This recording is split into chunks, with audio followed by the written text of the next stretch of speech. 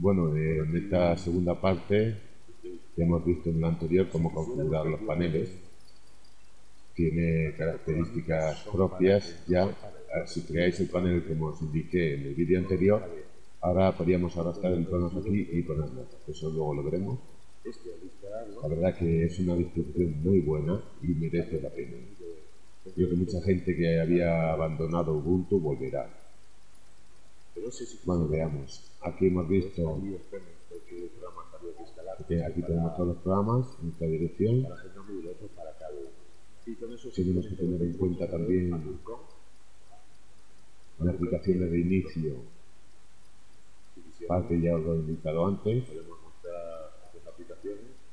Y si ponemos fusión, este fusión y aquí, a que salga, sale este, sale este. Eh, después, eh, si queremos entrar a Genome, por ejemplo, si tenemos habilitado este, mm, no entraríamos, tenemos que deshabilitar este a Genome Si queremos entrar a este, ya que tengo puesto, pues si alguna vez fallase, pues ya le tengo actual.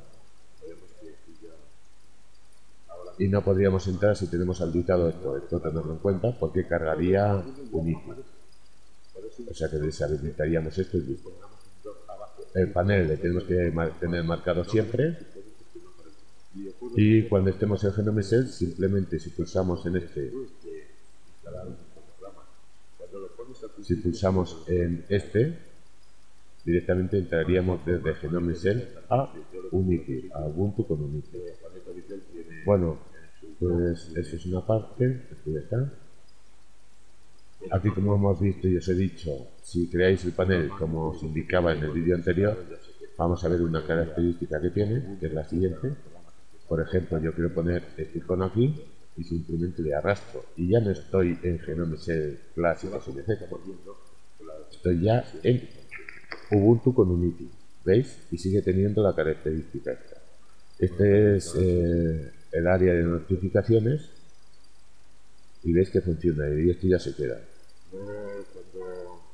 Bueno, luego vamos a ver aquí que si además de esto tenemos config, aquí le podríamos configurar el color, la, la traducción no es correcta del todo, pero sí que está bastante bien. Aquí si por ejemplo queremos que se oculte la barra de Unity, pues hacemos eso y ya está. Tenemos como algo os indiqué en el vídeo anterior. Tenemos aquí muchas opciones para poner, pues, vemos que aquí la carpeta de usuario, la que queramos, va saliendo todo. Esta es una novedad que es mi Unity y esto está en aplicaciones donde lo hemos visto antes. Bueno, más o menos esto ya es probar cada uno. Como vemos aquí nos sale, podemos llegar a todas partes igual que Ubuntu 10.04 con Unity, ahora tenemos las ventajas de, todo. El que no quiera una cosa, pues tiene esta otra forma de hacerlo. Aquí en preferencias, en herramientas, preferencias y demás, ahora está aquí. En herramientas de sistema, preferencias y administración. Lo tenemos todo. Funciona perfectamente el compit, aunque eh, grabándolo no creo que lo grabe bien. Pero bueno,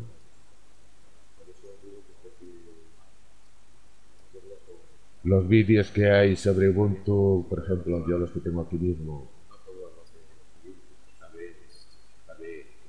fácil instalar Ubuntu, este sirve perfectamente para la 12.04, tenemos bastantes opciones de configuración para instalar Ubuntu sin problemas teniendo Windows 7, ¿eh? porque mucha gente tiene problemas al instalarlo porque no, no lo tiene en cuenta, con este vídeo no tendría ningún problema tu segunda oportunidad es una forma para crear, pues en un caso, usuarios, terminales, con el terminal, eh, tener dos escritorios, Ubuntu, Ubuntu, etcétera. Con estos vídeos pueden ser muy útiles.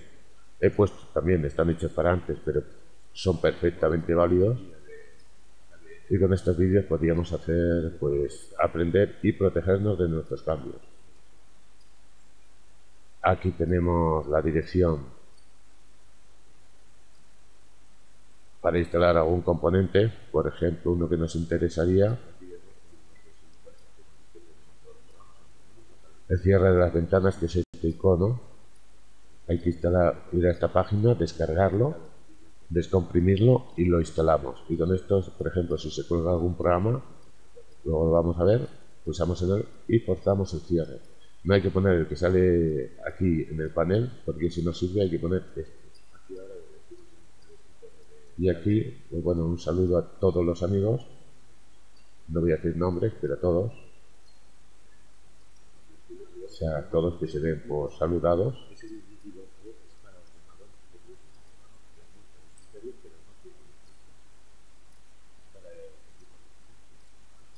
Un saludo a todos y que vaya bien esta Semana Santa. Vamos a ver, por ejemplo, si cerrarse mal. Pulsamos allí y veis cómo se cierra perfectamente. Bueno, y por último voy a dar una novedad. He conseguido que funcione Camtasia en Ubuntu. Mi hermano hará un vídeo sobre el tema, mi hermano Manuel. No voy a grabar, es una tontería, pero bueno, los que usamos Ubuntu tampoco es que necesitemos esto, pero más que nada para que veáis que sí que se puede. He conseguido instalarlo. Funcionan todos los programas menos el editor, aunque si se graba funciona perfectamente. Bueno, en un próximo vídeo lo veréis. Bueno, y sin más hasta el próximo vídeo, que será sobre los problemas que suele tener la gente que instala, modifica el grupo y luego le sale pantalla en negro, no le termina de cargar el sistema o le sale letras y no termina de cargar el sistema. Eh, normalmente esto es por problemas que ha creado uno mismo bueno, pues veremos la solución. Bueno, y sin más, hasta el siguiente vídeo.